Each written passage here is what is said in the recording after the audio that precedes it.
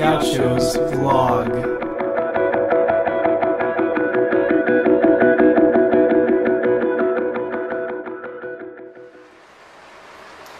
Hey guys, David here, coming to you from Roma.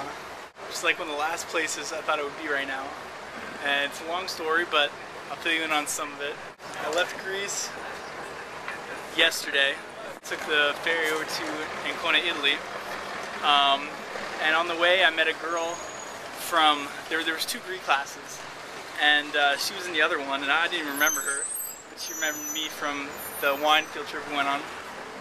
And so uh, we kind of got together and we're travel buddies, I guess.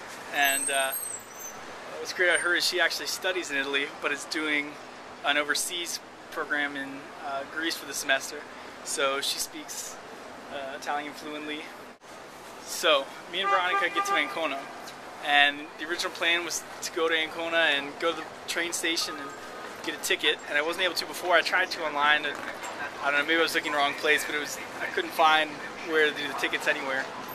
And so I figured I would just get the train tickets once I got to Ancona up to Prague, which proved to be a big ordeal. I'd stopped in you know, tons of different cities and layovers, and um, the worst part is it was going to be 244 euros, which is a ton of money, and I was not expecting the train to cost that much. And then later, Veronica informed me that what I just had done is taken a plane from Thessaloniki to like Munich or Berlin or something, and then take the train over to Prague, um, which again, stupid American that I am, I didn't think of that, and so instead, I was thinking I would have to fly Thessaloniki straight to Prague, which was really expensive, and I didn't think to fly somewhere else and then take the bus over to Prague. So we get to Ancona, find that out. Um, she's got a little bit before she gets her bus back to her uh, city that she's living in here in Italy.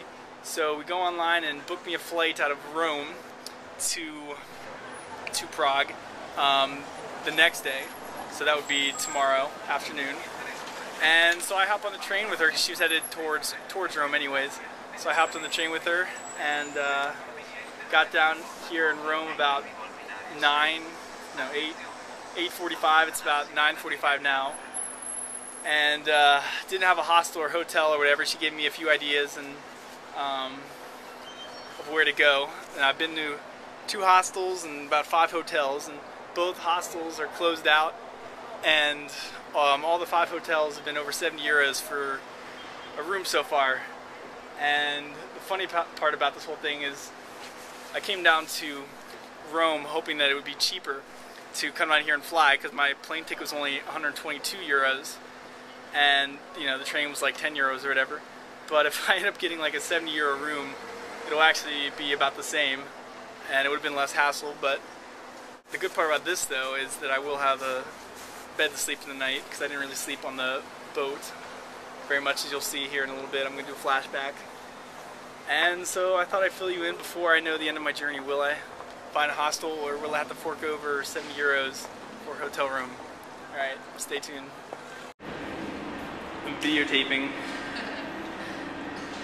Here I am with Veronica. Yeah. I've been taking videos just like remember stuff by. So this is where we are sleeping. Yes, this is our suite. We could have stayed in our chairs, but no. We want to see the sunrise which it's like 12.30 right now, so now we'll be sure not to miss it. Yeah. It's pretty good. This was Veronica's idea. It's a very good idea. So we will go to sleep on the deck of the ship. Oh.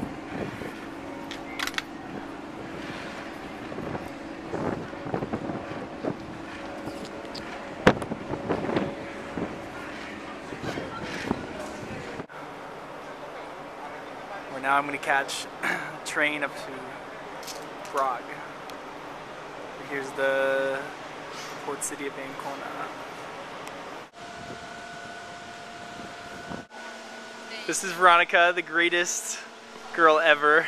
saved my life multiple times a day. Yeah, yeah, for. This this is a stupid American right here, and this is an awesome Polish girl, Half, half Italian. We have to understand. half Italian. No, I'm not. I'm totally Polish. But you grew up here, so yeah. So now I'm headed to Rome, Roma.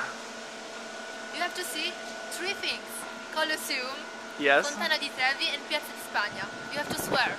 I will, and now I have it on video, so I can know how to pronounce what you just said Yeah. when I get there. If not, I will hit you. You will hit me. Yeah.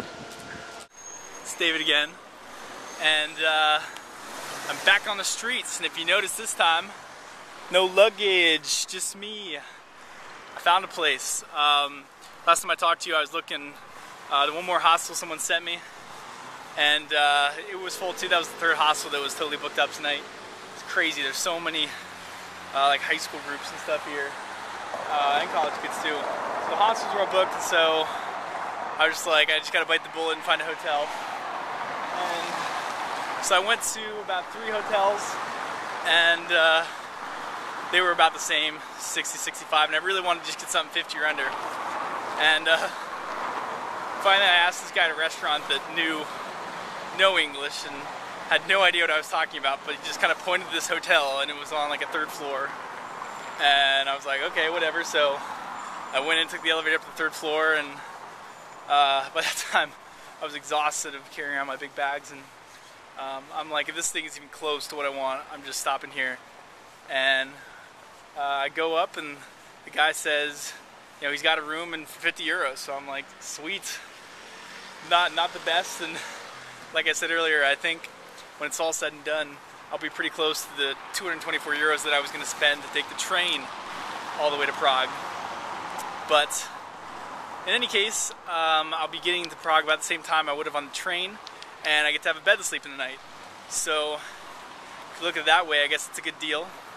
Um, I get to sleep instead of sitting on a train all night.